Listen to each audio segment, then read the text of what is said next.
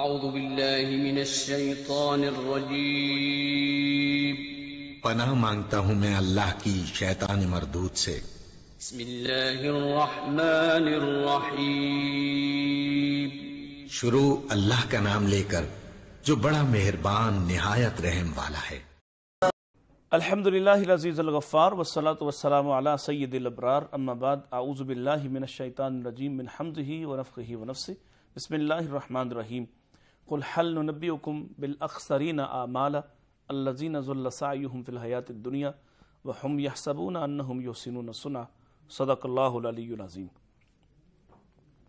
ناظرین کرام، پروگرام روشنی کے ساتھ میں ہوں آپ کے میزبان ڈاکٹر مطیع اللہ باجوہ۔ السلام علیکم ورحمۃ اللہ وبرکاتہ۔ جیسا کہ آپ جانتے ہیں کہ ہم آپ کے سامنے اللہ تعالیٰ کے فضل احسان سے مختلف اور متنوع موضوعات کے ساتھ حاضر ہوتے ہیں اور آج ہمارے عنوان اور موضوع کی یہ تیسری قسط یعنی تیسرا حصہ ہے، اعمال صالحہ کی بربادی۔ یعنی وہ کون سے اعمال ہیں جن کی وجہ سے نیک اور صالح اعمال یعنی نیکیاں برباد ہو جاتی ہیں۔ انسان کے پاس، مومن کے پاس سب سے قیمتی دولت اس کا ایمان ہے، اس کا نظریہ ہے، اس کا عقیدہ ہے۔ اور اس عقیدے کے بعد اس کے پاس جو سب سے قیمتی دولت ہے وہ ہے اس کے اعمال۔ کیونکہ وہ لوگ جن کے پاس ایمان نہیں ہے، ان کے پاس گویا کوئی سرمایہ نہیں ہے۔ وہ جتنے مرضی نیک اعمال کر لیں، نیک اعمال کی کوئی حیثیت اور وقت نہیں ہے اللہ کے ہاں۔ اور ان کے بارے میں اللہ تعالیٰ کا فیصلہ موجود ہے۔ وہ مالہ فل آخرت من خلاق۔ آخرت میں ایسے نیکوکار جن کے پاس عقیدہ نہ ہو، جن کے پاس ایمان نہ ہو جو اللہ کی توحید پر یقین نہ رکھتے ہوں رسول پاک کی رسالت پر یقین نہ رکھتے ہوں، ایسے لوگوں کے پاس جتنے مرضی نیک اعمال ہوں، چونکہ ان کے پاس بنیادی چیز، بنیادی عقیدہ نہیں ہے، لہذا ان کے اعمال کی کوئی وقت اور کوئی حیثیت نہیں ہوگی اور ان کے اعمال حبا ام منصورہ کی طرح بالکل راک کا ڈھیر ہوں گے اور ان کی کوئی بھی، ان کا ایک ذرہ بھی ان کو فائدہ پہنچانے والا نہیں ہے۔ ہاں ان نیک اعمال کا دنیا میں انہیں جو بھی فائدہ پہنچ سکتا تھا وہ پہنچ چکا۔ اور آخرت میں صرف اور صرف آخرت صرف والعاقبت للمتقین۔ اللہ کا یہ پیغام ہے، عاقبت آخرت صرف اور صرف ڈرنے والوں کے لیے ہے، جن کے پاس ایمان بھی ہوا اور نیک اعمال بھی ہوئے۔ انہی سے اللہ تعالیٰ جو ہے وہ ان کو اجر اور بدلہ عطا فرمائے گا، ان کے ان کے اعمال کا جن کے پاس ایمان ہوا۔ ایمان نہ ہو تو کتنی بڑی نسبت ہو اور کتنے اچھے اور اعلیٰ کام ہوں، چونکہ ایمان نہیں ہے۔ لہذا ان نیک کاموں کا اسے کوئی اجر اور کوئی فائدہ نہیں ہو سکتا۔ لہذا سب سے قیمتی دولت ایمان کے بعد، ایمان کی وجہ سے جو قیمتی ہوتے ہیں، وہ ہیں نیک اعمال، صالح اعمال، اچھے اعمال۔ اب اچھے اعمال کے معاملے میں اللہ تعالیٰ کی فراخی دیکھیے، اللہ تعالیٰ کا جو اس کی وہ غنی ہے، وہ بے نیاز ہے اور کریم ہے، اس کے اس کے کرم اور فضل کے فیصلے دیکھیے۔ کہ نیک اعمال کو اللہ بڑھاتا بھی ہے، نیک اعمال کو اللہ تعالیٰ ان کی پرورش بھی کرتا ہے، نیک اعمال، اچھے اعمال کی وہ کفالت بھی کرتا ہے، اچھے اعمال کی وجہ سے وہ برے اعمال کو ختم بھی کرتا ہے، اچھے اعمال کو باقی بھی رکھتا ہے، اور اچھے اعمال کے بارے میں سوچ لیا جائے یعنی نیکی کا صرف ارادہ کر لیا جائے، تو وہ ایک نیکی کی صورت میں، ایک اچھائی کی صورت میں لکھ لیا جاتا ہے۔ اور جب کر چکتا ہے، جب آدمی اس نیک عمل کو، اپنے عملی اس کو، اس نیت کو، اس ارادے کو عملی جامہ پہنا دیتا ہے، تو کم سے کم دس گنا اس کو بڑھا دیا جاتا ہے۔ الا سب امیات زیف، سات سو گنا تک بھی بڑھایا جا سکتا ہے۔ یہ اللہ تعالیٰ کو خبر ہے اور اللہ تعالیٰ ہی لوگوں کے اعمال کے مطابق فیصلہ کرتا ہے کہ کس کا عمل کس درجے کا اور کتنے کتنے جو اس میں درجات ہیں اس کو، کتنے درجے بڑھانا ہے۔ اور بعض اعمال تو اللہ تعالیٰ کو ایسے پسند آتے ہیں، واللہ یضاعف لمن شاہ کہ بعض اعمال کو اللہ تعالیٰ جتنا چاہتا ہے اتنا بڑھا دیتا ہے اور بعض اعمال کو تو صرف اپنے لیے مخصوص کر دیتا ہے، جیسے اس نے روزے کو اپنے لیے مخصوص کیا ہے کہ روزے دار کے لیے اس کا کوئی اجر فرشتے نہ لکھ سکیں گے، نہ لکھ سکتے ہیں، نہ ان کے پاس حساب ہے، بلکہ وہ صرف یہ لکھیں گے کہ یہ بندہ روزے سے تھا اور اللہ تعالیٰ فرماتے ہیں سوم و لی و انا اجزی بھی سوم روزہ میرے لیے ہے اور اس کا بدلہ اور جزا بھی میں ہی دوں گا یعنی اس کا حساب میں خود اپنی شان کے مطابق کروں گا۔ اب نیک اعمال، اچھے اعمال، جب قیمتی دولت ہیں، تو پھر ان اچھے اعمال کو، اس قیمتی دولت کو، والباقیات الصالحات، جو باقی رہنے والی دولت ہے انسان کی کمائی، انسان کی محنت، انسان کی جد و جہد، انسان کی تگ و تاز، جو کچھ بھی جس بھی فیلڈ اور جس بھی شعبے میں ہو، وہ سب دنیا کا حصہ ہے، المال والبنون، زینت الحیات الدنیا یہ مال، یہ بیٹے، یہ اولادیں، یہ عزت، یہ جا، یہ وقار، یہ سب کچھ اختیار و اقتدار سب کچھ دنیا کا ہے اور دنیا سے کوئی شخص آگے اس کو نہیں لے کے جائے گا۔ دنیا میں ہی اس کا وقتی طور پر کچھ وقت کے لیے حض لطف اور کیفیت اس کی اس کی عیش کوشش سے فائدہ مند ہو سکتا ہے، تھوڑا سا نفع اٹھا سکتا ہے۔ لیکن اس کے بعد اس دنیا سے لے جا کر کچھ نہیں لے نہیں لے جائے گا، بلکہ والباقیات الصالحات۔ اگر کوئی چیز باقی بچنے والی ہے ساتھ جانے والی ہے، حفاظت کرنے والی ہے، فائدہ دینے والی ہے، نفع دینے والی ہے، تو وہ صرف اور صرف نیک اعمال ہے نیک اعمال ہیں، خیر نندہ ربک، وہ تمہارے رب کے نزدیک زیادہ بہتر ہے ثواباً و خیر عملہ جن پر انسان اچھی نیت اچھا ارادہ اچھے امیدیں لگا سکتا ہے جب اس کے پاس اچھے اعمال ہوں۔ اور اگر اچھے اعمال نہ بچیں، یہ ایسے اعمال کر لیے جائیں کہ جن کی وجہ سے اچھے اعمال بھی برباد ہو جائیں۔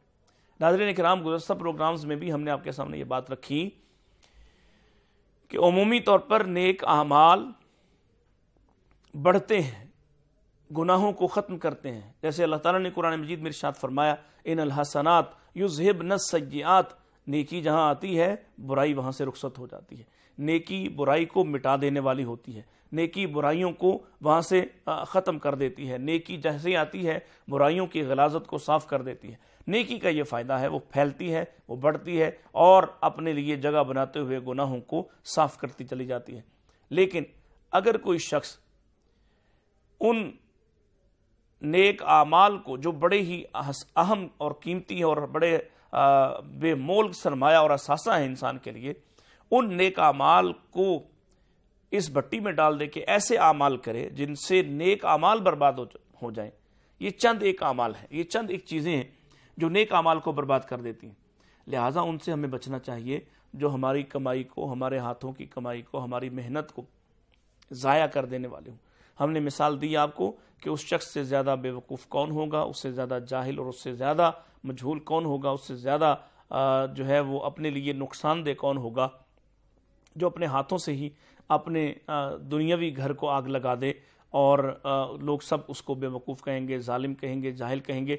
اور وہ شخص جو اپنی آخرت کو اپنے ہاتھوں سے آگ لگا دے، اس کو کیا کہیں گے؟ یہ بھی سوچنا چاہیے۔ اگر اپنے ہاتھوں سے اپنی کمائی کو برباد کرنا یہ عقل مندی ہے، تو پھر بہرحال لوگوں کے لیے میدان آزاد ہے۔ اور اگر اس کو کوئی عقل مندی کے مخالف دانش مندی کے خلاف سمجھتا ہے، تو پھر سب سے قیمتی دولت روپیہ، پیسہ، زمین، جائیداد، اولاد نہیں ہے، بلکہ سب سے قیمتی اثاثہ اس کے نیک اعمال ہیں۔ ان نیک اعمال کو آگ لگنے سے اور ان نیک اعمال کو برباد ہونے سے بچانے کی کوشش کرنا چاہیے۔ اگر آپ یہ کوشش نہیں کرتے تو آپ اپنی محنت کوشش کر کے رات دن کی تنہائی میں اور مشکل مشکل جو فیصلے کر کے اور نمازوں کے لیے مشکل موسموں کا مقابلہ کر کے، نیکیوں کے لیے مختلف قسم کے مقابلہ جات سے گزرنے کے بعد آپ سمجھیں کہ آپ کے پاس بہت نیکیاں ہیں، لیکن آپ نے کچھ ایسے کام ضرور کیے ہوں جو آپ کی نیکیوں کو برباد کروا دینے والے ہیں۔ تو اس سے بڑی کوئی ہلاکت خیزی نہیں ہو سکتی کہ انسان اس گمان اور امید کے ساتھ اللہ کے سامنے پیش ہو کہ وہ تو دنیا میں بڑے اچھے اور نیک کام کرتا رہا، لیکن اسے یہ پتہ ہی نہ چل سکا کہ وہ کون سے کام ہیں جو اعلیٰ ترین نیکیوں کو اور اعلیٰ ترین درجات حاصل کیے ہوئے لوگوں کو ذلیل اور خار اور رسوا اور عذاب کا شکار کر دیتی ہیں۔ وہ کون سی چیزیں ہیں جو نیک اعمال کو کھا جاتی ہیں؟ جیسے ہم نے آپ کے سامنے مثال رکھی تھی، ان الحسد یا کل الحسنات کما تاکل النار الحتم ایسے نیکیوں کو حسد کھا جاتا ہے، جیسے آگ خشک لکڑی کو کھا جاتی ہے۔ ایسے نیکیوں کو حسد کھا جاتا ہے، ایسے شرک کھا جاتا ہے۔ ایسے دین سے مرتد ہونا اور ارتداد کا شکار ہونا اور دین کو چھوڑ دینا، ختم نبوت کے عقیدے پر ڈاکہ ڈالنا اللہ کے نبی صلی اللہ علیہ وسلم کی سنت کے مخالف چلنا ایسے آپ کے اعمال کو برباد کر دیتا ہے راک کا ڈھیر بنا دیتا ہے۔ انسان یہ سمجھ رہا ہوتا ہے کہ میرے پاس تو بڑے اچھے اور نیک اعمال ہیں، میں تو بہت اچھے کام کر رہا ہوں، لیکن اس نے زندگی میں جیسے ہم نے گزشتہ آپ کے سامنے پروگرام میں عرض کیا، رسول اللہ صلی اللہ علیہ وسلم کی مخالفت کرنا، جنت جانے سے انکار کرنا ہے، حدیث آپ کے سامنے ہم نے سنائی۔ اللہ کے نبی علیہ السلام نے فرمایا کلو امتی یدخلون الجنہ۔ میرا ہار امتی جنت میں داخل ہوں گے اللہ من با مگر ان لوگوں کے سوا یا ان لوگوں کے ماں سوا جو جنت جانے سے انکار کر دیں۔ اب پوچھا گیا، یا رسول اللہ صلی اللہ علیہ وسلم، وہ کون ہے جو جنت جانے سے انکار کر دے؟ آپ نے فرمایا، جو شخص من آتا فقط دخل الجنہ، جو میری بات سنتا ہے، میری بات مانتا ہے، میری اطاعت کرتا ہے، میری اتباع پہ چلتا ہے، وہ یقینی طور پر جنت میں داخل ہوگا۔ اور ومن آسانی فقط ابا اور جو میری نافرمانی کرتا ہے، گویا وہ جنت جانے سے انکار کرنے والا ہے کہ وہ جنت نہیں جانا چاہتا۔ اس سے بڑا نقصان کیا ہو سکتا ہے کہ آدمی اپنے لیے خود یہ فیصلہ طے کر لے کہ وہ جنت نہیں جانا چاہتا۔ اس عارضی سی دنیا کے لیے وہ بہت تگ و تاز کرتا ہے، بہت محنت کرتا ہے، لیکن ابدی دنیا کے لیے اور ابدی اور ہمیشہ کی زندگی کے لیے جہاں اس کا کوئی سفارشی نہیں ہوگا، کوئی اس کی سفارش نہیں لی جائے گی، کوئی اس کے ساتھ مواخذہ اور تعاون نہیں لیا جائے گا، کوئی اس کی بدلے میں فدیہ اور نہیں دیا جا سکے گا۔ اس وقت جبکہ کوئی سہارا سہارا نہ رہے گا، اس وقت وہ فیصلہ کتنا اہم ہے اس کے لیے کہ اس کو جنت جانا ہے یا جہنم، لیکن انسان اس کی فکر نہ کرے اور اپنی دنیا کو، اپنی آخرت کی بربادی پر صرف کر دے، اس سے بڑا نقصان کوئی نہیں ہو سکتا ہے۔ ہم نے آپ کے سامنے یہ بات رکھی تھی کہ رسول پاک صلی اللہ علیہ وسلم کی مخالفت کرنا اعمال کی تباہی اور بربادی ہے۔ جیسا کہ اللہ تعالیٰ نے قرآن مجید میں ارشاد فرمایا، یا آمنو عطی اللہ و عطی الرسول ولا تبتلوا اعمالکم۔ اے ایمان کا اظہار اور دعویٰ کرنے والو، اللہ کی اطاعت کرو اور اس کے رسول کی اطاعت کرو اور اپنے اعمال کو ضائع مت کروا لو، اپنے اعمال کو برباد مت کروا لو۔ گویا، یہاں یہ واضح پیغام دیا ہے کہ جو رسول اللہ صلی اللہ علیہ وسلم کی مخالفت کرے گا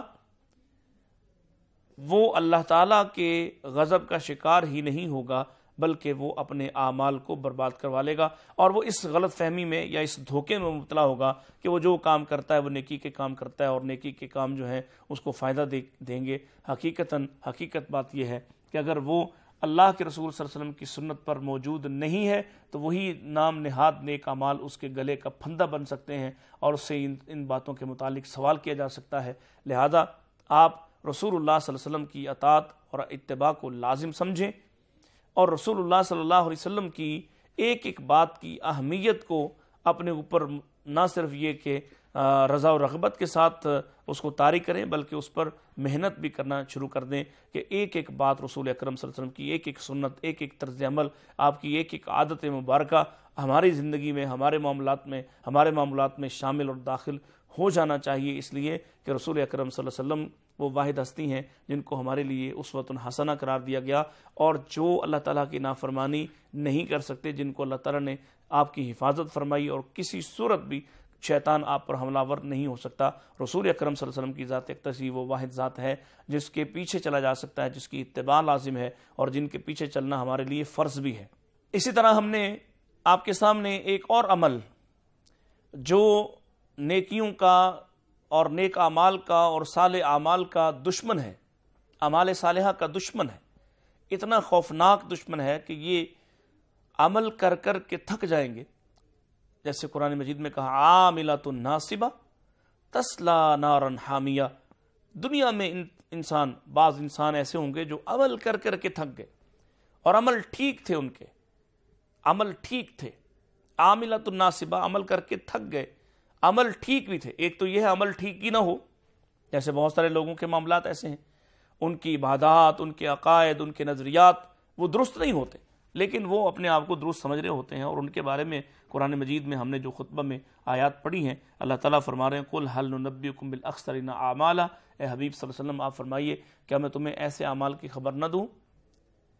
حل نبی کم بالاخسرین اعمالا جو برباد کیے جانے والے، گھاٹے والے اعمال ہیں۔ الزین فی الحیات دنیا یہ وہ لوگ ہیں اس کے مقابلے میں جو اپنی، جن کی ساری زندگی کی محنتیں ضائع ہو گئی۔ الزین فی الحیات دنیا وَهُمْ يَحْسَبُونَ أَنَّهُمْ يُحْسِنُونَ سُنْعَا اور وہ اس گمان میں ان برے کاموں کو بھی کرتے رہے، یا ان ناپسندیدہ کاموں کو بھی کرتے رہے، یا ان نافرمانی کے کاموں کو بھی کرتے رہے کہ وہ سمجھتے ہیں وہ ہم یہ صبونا ان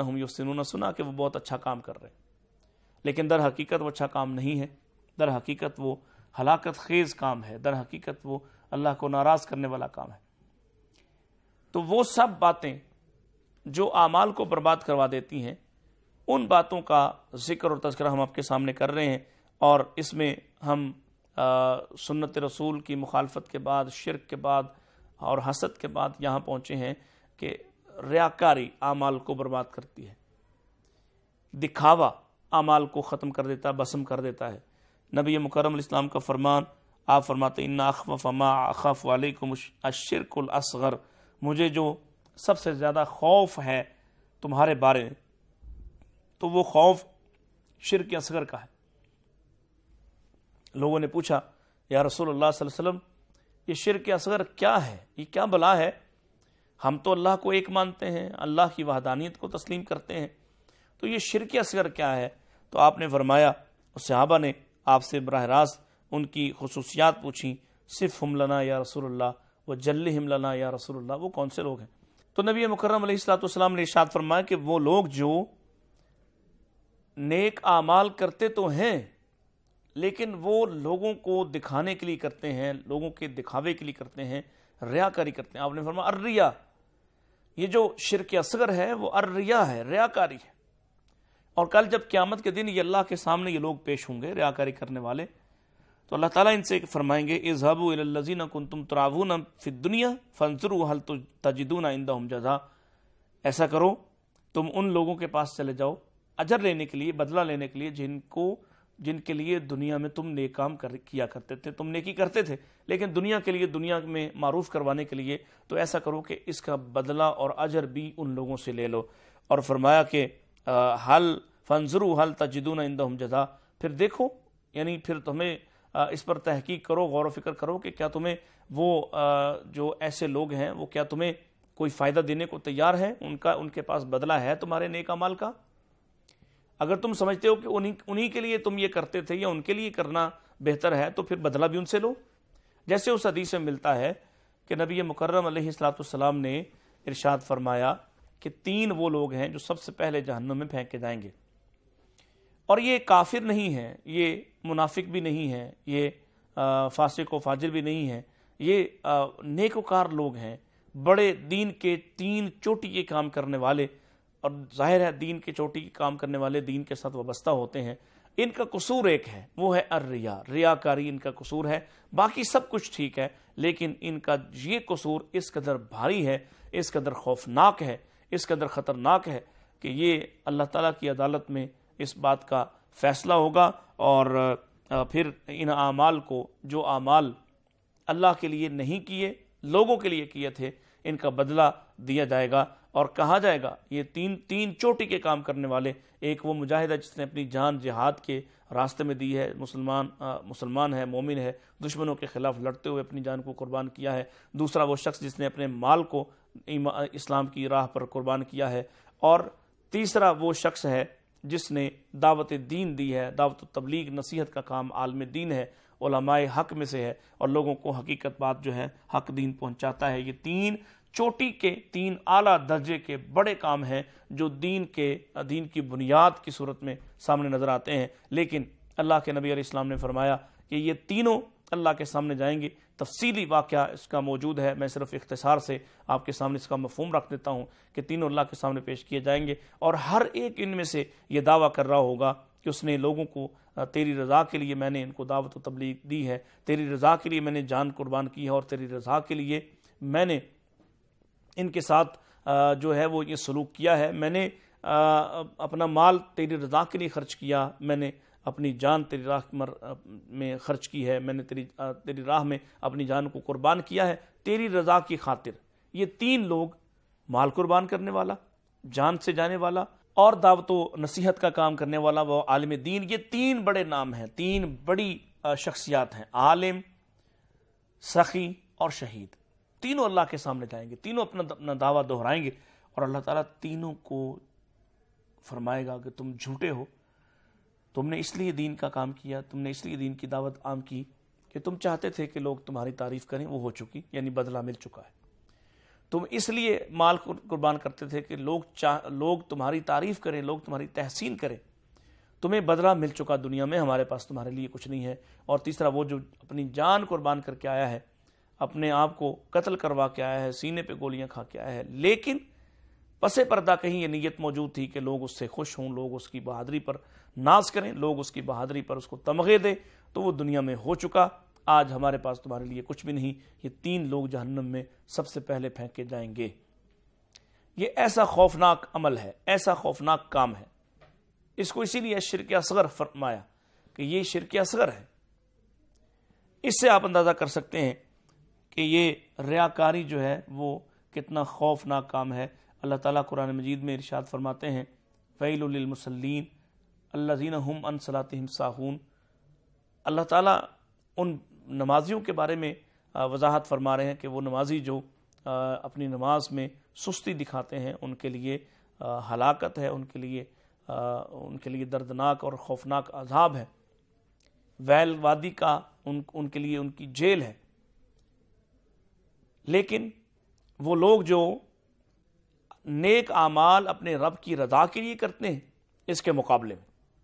ہم نے مثال ایک گزشتہ کل بھی دی اور آج پھر دہرا دیتے ہیں کہ اگر نیکی کا کام، نیک عمل اللہ کے لیے ہو، تو ضروری نہیں ہے کہ وہ بہت بڑا عمل ہو تو اسی کا اجر بڑا ملے گا۔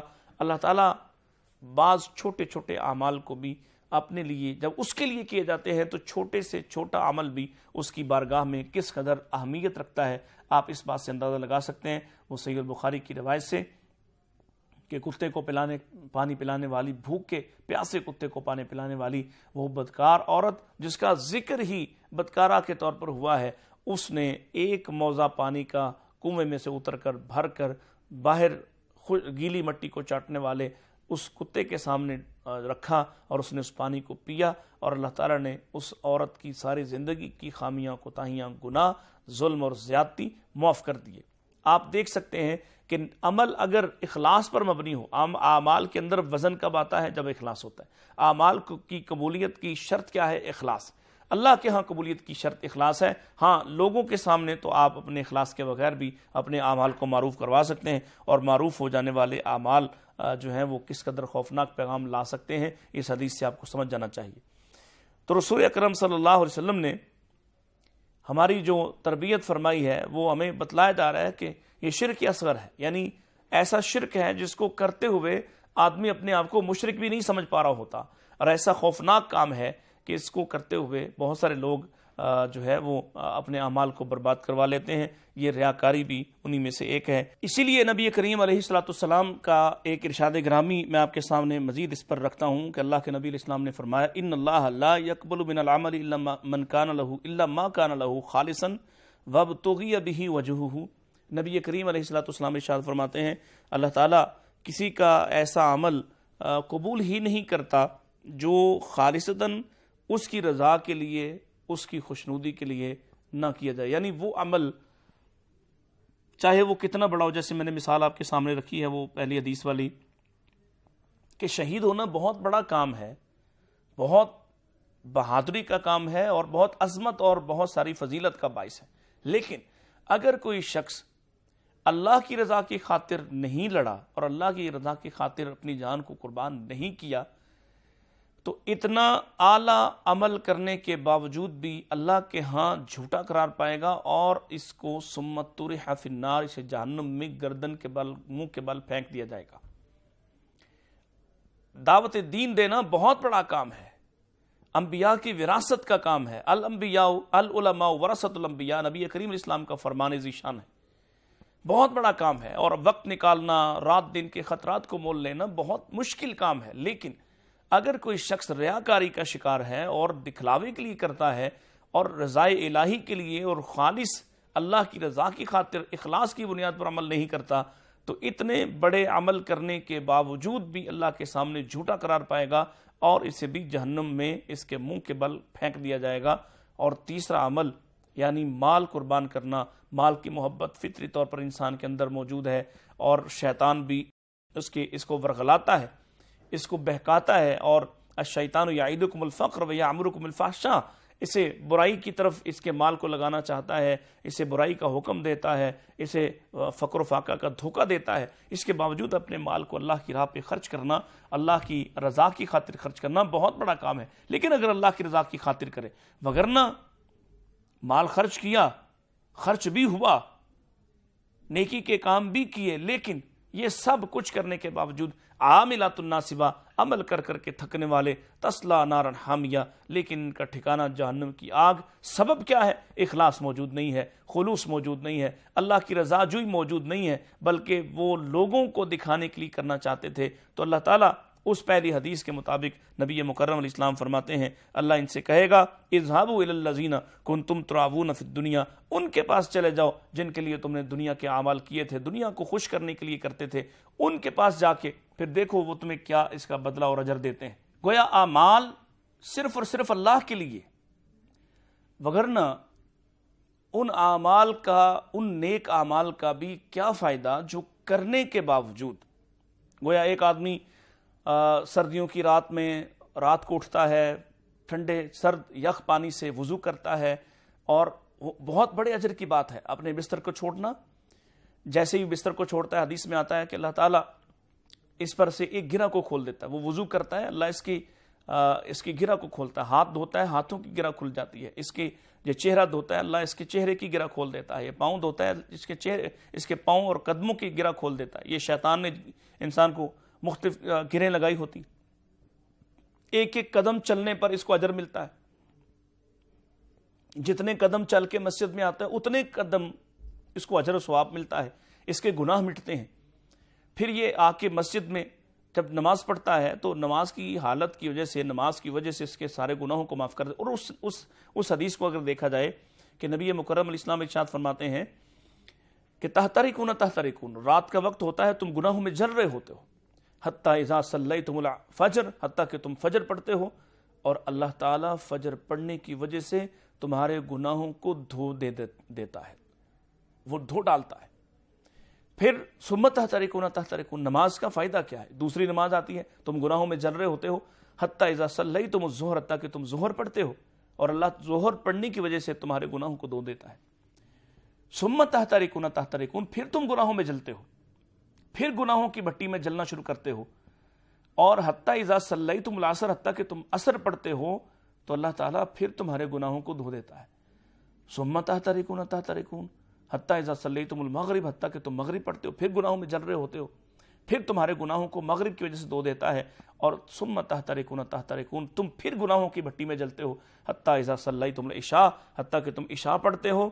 اور اللہ تعالیٰ تمہارے گناہوں کو نہ صرف دھو دیتا ہے، جب تم حالت عشاء کے وضو کے ساتھ عشاء پڑھنے کے بعد سو جاتے ہو تو اللہ تعالیٰ تمہیں گناہوں سے محفوظ کر دیتا ہے۔ یہ فائدہ ہے نماز کا۔ لیکن وہ نمازیں جو لوگوں کو دکھانے کے لیے پڑھی جائیں کام و کسالہ یوراون الناس، ڈھیلے ڈھالے انداز سے اور سستی اور غفلت کے انداز سے اور بے دلی کے ساتھ پڑھی جائیں اور لوگوں کو دکھانے کے لیے پڑھی جائیں۔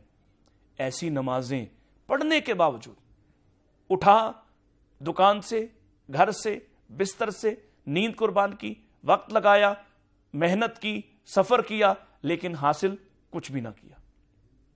یہ وہ امال ہیں جو ریاکاری کے حد چڑھ گئے اور جو اعمال اللہ کے لیے ہوں۔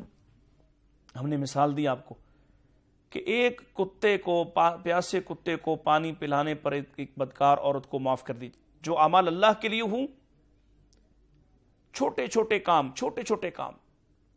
اخلاص کی بنیاد پر صرف لا الہ الا اللہ محمد رسول اللہ کا کلمہ، اخلاص کی بنیاد پر صرف کلمہ توحید کا اقرار اور اعتراف کل قیامت کے دن اس کو معاف کروا دے گا، اگر اخلاص کی بنیاد پر ہوا۔ اور اخلاص کی بنیاد پر نہیں تو پہاڑوں جیسے اعمال بھی اس کے کسی کام نہیں آئیں گے۔ آئیے آگے بڑھتے ہیں۔ مزید وہ باتیں جن سے اعمال اعمال قیمتی دولت ہے۔ اعمال سے قیمتی دولت ایک ایمان والے کے پاس اس سے کوئی قیمتی دولت نہیں ہے۔ وہ زر و جواہر، وہ ہیرے جواہر، وہ موتی، وہ لال، وہ ساری دنیا کی جائیداد اور ساری دنیا کا بینک بیلنس آپ کے کسی کام نہیں ہے۔ جیسے آپ کی سانس نکلے گی، یہ سب کچھ آپ کے موروث میں، آپ کی آپ کی وراثت میں تقسیم ہو جائے گا۔ آپ کی اولاد میں، آپ کے بہن بھائیوں میں تقسیم ہو جائے گا۔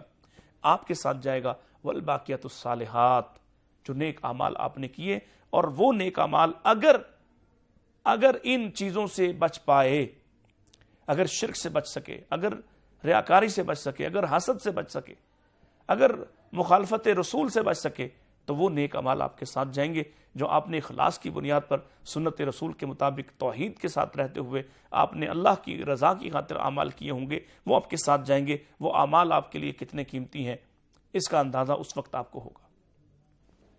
آئیے، ایک اور بڑا بہت خوفناک عمل ہے یا بہت خوفناک دروازہ ہے جس سے اعمال برباد ہو جاتے ہیں۔ اور یہ اگر میں یہ کہوں کہ فی زمانہ اس وقت جو صورتحال ہے، اس میں یہ سب سے مہلک ہتھیار ہے شیطان کا۔ سب سے خطرناک ہتھیار ہے شیطان کا آج کی دنیا میں خاص طور پر۔ اور قربان جائیے رسول اللہ صلی اللہ علیہ وسلم کے، جنہوں نے ہمیں ایسی خبریں عطا فرمائی اور جو یقیناً اس زمانے میں جو تنہائی کے گناہ تھے، وہ بہت تھوڑے تھے، چھوٹے پیمانے پر تھے اور ایسے خوفناک نہ تھے جیسے آج تنہائی زیادہ خوفناک افرید کی صورت اختیار کر چکی ہے اور یہ یہ تلوار ہم پر لٹک رہی ہے۔ نبی مکرم علیہ صلاۃ السلام نے ارشاد فرمایا تھا، یہ جو خلوت میں محرمات کا ارتکاب ہے، خلوت میں اللہ کی حدود کی پامالی ہے، خلوت میں یعنی تنہائی میں، علیحدگی میں، اکیلے پن میں جو اللہ کی حدود کے ساتھ چھیڑ چھاڑ ہے اور اللہ تعالیٰ کی نافرمانی کا جو عمل ہے، جس کو ہم بہت چھوٹا سمجھتے ہیں، وہ اتنا خوفناک ہے کہ آپ کے اعمال کو راکھ کا ڈھیر بنا دینے کے لیے کافی ہے۔ یہ بات میری دھیان سے سن لیجیے اور اصل میں یہ بات میری نہیں، رسول اکرم صلی اللہ علیہ وسلم کی بات ہے۔ آپ نے ارشاد فرمایا، کیا میں تمہیں خبر نہ دوں؟ ایسے لوگوں کی، جن کے اعمال تہامہ پہاڑوں کے برابر ہوں گے۔ تہامہ پہاڑ ایسے ہی ہیں جیسے ہمارے ہاں کوہ کراکرم کا سلسلہ بہت بلند، بہت اونچے، بہت بڑے، بہت نہ ختم ہونے والا سلسلہ۔ آپ نے فرمایا تہامہ پہاڑوں کے برابر اعمال ہوں گے ان لوگوں کے۔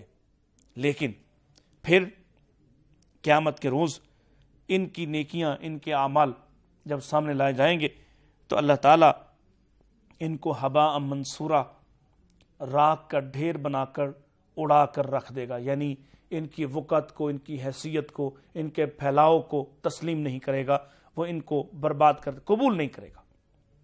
اب دیکھیں یہ جو قبولیت کا معاملہ ہے، یہ اتنا اہم ہے کہ اللہ کے نبیوں نے بڑے بڑے اعمال کرنے کے بعد اللہ کے سامنے درخواست کی کہ اللہ ہی ہمارے اعمال کو قبول کر لے۔ مثال کے طور پر، باپ بیٹے دونوں نے، دونوں اللہ کے محبوب نبی ہیں، دونوں امتحان سے جو فراغت پا کر کامیاب قرار دیے گئے ہیں، دونوں اللہ کے محبوب ہیں، ایک اللہ کے خلیل ہیں، ایک اللہ کے زبی ہیں۔ دونوں نے اللہ کے گھر کو تعمیر کیا، جو اللہ تعالیٰ کا محبوب ترین گھر ہے۔ ان اول بیت وزی الناس للذیب بکت مبارکم و حد للعالمین۔ جو کائنات میں ہدایت کا مرکز ہے، امن کا مرکز ہے، اللہ تعالیٰ کی رحمتوں کا مرکز اور محور ہے، اس گھر کو تعمیر کیا۔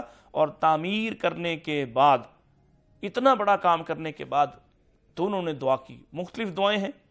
جو دعا اس موقع کی مناسبت سے میں آپ کے سامنے رکھنے لگا ہوں، دونوں نے کہا رب بنا تقبل منا ان انت سمیع العلیم۔ اے ہمارے رب، ہم نے یہ کام کر دیا، ہم نے یہ گارا لگا دیا، ہم نے یہ پتھر اٹھا کر عمارت بنا دی۔ تیری مرضی اور تیرے حکم کے مطابق ان بنیادوں کو اٹھا کر ایک گھر کی شکل دے دی۔ ہم نے بہت بڑا کام کیا، لیکن یہ کام تب بڑا ہے جب تم، اے ہمارے رب، تم اس کو قبول کر لو۔ اگر تم اسے قبول نہ کرو، اتنا بڑا کام بھی ہمارے کسی فائدے اور کام کا نہیں ہو سکتا۔ ربنا تقبل منا ان کا تسمی العلیم۔ ہم سے اس کام کو قبول کر لے۔ آپ اندازہ لگائیں، نبی مکرم علیہ السلاۃ السلام اعمال، بڑے بڑے اعمال اور اللہ کی رضا جوئی پر مبنی اعمال کرنے کے بعد اللہ کے سامنے اس کی قبولیت کی دعا کرتے ہیں۔ اگر آپ اور میں اپنے اعمال کو اللہ کے سامنے قبولیت کی دعا نہ کریں اور ہمارے اعمال قبول نہ کیے جائیں، تو یہ تہامہ پہاڑوں کے برابر ہوں، تب بھی ان کی کوئی وقت اور کوئی حیثیت نہیں ہے۔ پھر ان کی تباہی اور بربادی کا راستہ کیا ہے؟ کہ بڑے بڑے نیک عمال کیے تھے۔ لیکن آج قیامت کا دن ہے، اللہ تعالیٰ نے راک کا ڈھیر بنا کر ان کو اڑا دیا ہے۔ اور ان کی کسی حیثیت اور وقت کو تسلیم نہیں کیا۔ اب یہ جو بات آپ نے ارشاد فرمائی تو صحابہ اپنے معمول کے مطابق وہ بڑے حساس تھے دینی معاملات میں۔ ان کے کان کھڑے ہو جاتے تھے جب ایسی باتیں، ایسی خبریں ملتی۔ متوجہ ہو جاتے تھے۔ انہوں نے فوراً پوچھا صرف ہم لنا یا رسول اللہ؟ اللہ کے نبی، یہ تہامہ پہاڑوں کے برابر اعمال ہوں اور وہ راہ کا ڈھیر بنائے جائیں کون سی باتیں ہیں؟ کون سی صفات ہیں؟ کن وجوہات کی بنیاد پر ان کو ایسے برباد کیا جائے گا؟ ہمیں بتائیے۔ جلی لنا یا رسول اللہ، ہمارے لیے اس کو کھول کر بیان کیجیے ہمارے سامنے اس کی حقیقت تو رکھیے کہ وہ کون سے اعمال ہیں جن کے کرنے سے آپ کے تہامہ پہاڑوں کے برابر اعمال بھی ضائع ہو جائیں گے۔ اللہ اکبر۔ نبی کریم علیہ السلاۃ والسلام نے ارشاد فرمایا، وہ تمہیں میں سے ہوں گے، تمہارے بھائی، تمہاری قوم میں سے۔ تمہاری طرح راتوں کو قیام کریں گے، تمہاری طرح نمازیں پڑھیں گے، تمہاری طرح عزت کا خیرات کریں گے۔ مگر جب اکیلے ہوں گے تو پھر خلوت میں اللہ کی حرام کردہ حدود کی طرف رغبت رکھیں گے۔ اللہ کی محرمات کو اپنے لیے حلال کر لیں گے۔ یعنی وہ کام جو لوگوں میں نہیں کر سکتے، تنہائی میں وہ کام کریں گے۔ ناظرین کرام، آج دیکھیے، اپنے بچوں پہ نظر رکھیے۔ آپ ان کی نماز پہ خوش ہیں خوش ہونا چاہیے۔ آپ ان کی تربیت پہ راضی ہیں، راضی ہونا چاہیے، لیکن وہ تنہائی میں کیا کرتا ہے؟ اپنے موبائل کو کس کام پہ استعمال کرتا ہے؟ اپنی اپنی جو فرصت کے لمحات ہیں، ان کو کس کام پہ لگاتا ہے؟ اللہ کے رسول علیہ السلاۃ السلام نے فرمایا تھا، اے غتنم خمسن قبل خمسن، پانچ چیزوں کے آنے سے پہلے پانچ کی غنیمت جانو، پانچ کو قیمتی سمجھو۔ ان میں سے ایک و فراغ کا قبلہ شوغلک اپنی فرصت کو اپنی مصروفیت سے پہلے قیمتی جانو۔ وہ فرصت بہت اعلیٰ ہے۔ وہ فرصت بہت اعلیٰ ہے جس میں، جس تنہائی میں اللہ کا ذکر کیا جائے۔ وہ فرصت بہت اعلیٰ ہے جس میں اللہ کے خوف سے دو آنسو ٹپک پڑے۔ وہ فرصت بہت اعلیٰ ہے جو نیکی کے کام پر صرف ہو، جو ذکر اللہ میں خرچ ہو۔ اور وہ فرصت جو شیطان کو راضی کرتی ہے۔ وہ تنہائی جو شیطان کو خوش کرتی ہے۔ وہ تنہائی جس میں دوسرا شیطان ہوتا ہے۔ وہ تنہائی جس میں شیطان راضی ہوتا ہے، وہ اتنی خوفناک ہے کہ تہامہ پہاڑوں کے برابر آپ کے اعمال، نیکیاں، صدقہ و زکاة صدقہ و خیرات، اعمال صالح، بڑے بڑے نیک کام۔ لیکن اللہ کے سامنے ان کی کوئی وقت نہیں۔ کیوں؟ کہ آپ نے تنہائی میں ان اعمال کو برباد کر دیا، تنہائی میں اپنے ہی ہاتھوں سے ان کو آگ لگا دی، تنہائی میں اپنے شیطان کو راضی کیا۔ رحمان کو راضی نہیں کیا، تو آپ کے وہ اعمال سب کے سب جو بہت اچھے تھے، جو بہت اعلیٰ تھے، جن کو کر کے آپ تھک چکے تھے، اور آپ نے ان کو کرنے کے لیے بڑی مشقت کا سامنا کیا تھا، بڑی مشکلوں سے نکلے تھے، بڑی محنت کی تھی، لیکن آپ نے اس محنت کی کمائی کو، جو اللہ کے ہاں بہت بڑی اجر اور بہت بڑی غنیمت کا سبب اور باعث بنتی، آپ نے اپنی تنہائی میں آگ لگا کر اس کو راک کا ڈھیر بنا دیا ہے۔ یہ ہے خوفناک پہلو کہ آپ خلوت میں، تنہائی میں جب محرمات کا ارتکاب کرتے ہیں تو اللہ تعالیٰ آپ کی باقی نیکیوں کو بھی برباد کر دیتا ہے۔ اور آج آج یہ فتنہ سب سے زیادہ، سب سے ہولناک ہے۔ کیا آپ دیکھتے ہیں؟ مختلف کمپنیز ہیں، مختلف قسم کے، یہ جو موبائل میڈیا ہے، موبائل کمپنیز ہیں، وہ آپ کو تنہائی کا وقت گزارنے کے لیے مختلف پرکشش پیکیجز دیں گے اور آپ کو آپ کی تنہائی کو برباد کرنے، کروانے کے لیے مختلف قسم کی ایڈز آئیں گی، مختلف قسم کا مواد آپ کے سامنے موجود ہوگا اور ایک کلک پر آپ ایک دنیا سے نکل کر ایک ایسی فوہش دنیا میں، ایسی غلیظ دنیا میں چلے جائیں گے جہاں پھر آپ رکتے نہیں اور آپ کی تنہائی اللہ کی نافرمانی پر مبنی ہو جاتی ہے۔ اور یہ وہی وقت ہے جس کی طرف آپ نے اشارہ فرمایا تھا بادر بالعمال فتنن اپنے اعمال کی فتنوں کے آنے سے پہلے فکر کر لو کا قطع اللیل المظلم فتنے ایسے آئیں گے جیسے رات کی تاریخی چھا جاتی ہے۔ اور آپ نے فرمایا تھا یسبح الراجل مؤمنا و یمسی کافرا۔ صبح کے وقت ایک شخص مومن اپنے گھر میں صبح کرے گا، ایمان کے ساتھ صبح کرے گا، لیکن شام تک ایسے اعمال کر چکا ہوگا۔ وہ یمسی کافرا کہ وہ کفر پر چلا جا چکا ہوگا۔ او یمسی کافرا و یسبح کافر۔ او یمسی مومنا و یسبح کافرا۔ یا رات کے وقت، شام کے وقت تو مومن سویا ہوگا، لیکن صبح اٹھنے سے پہلے پہلے وہ کافر ہو چکا ہوگا۔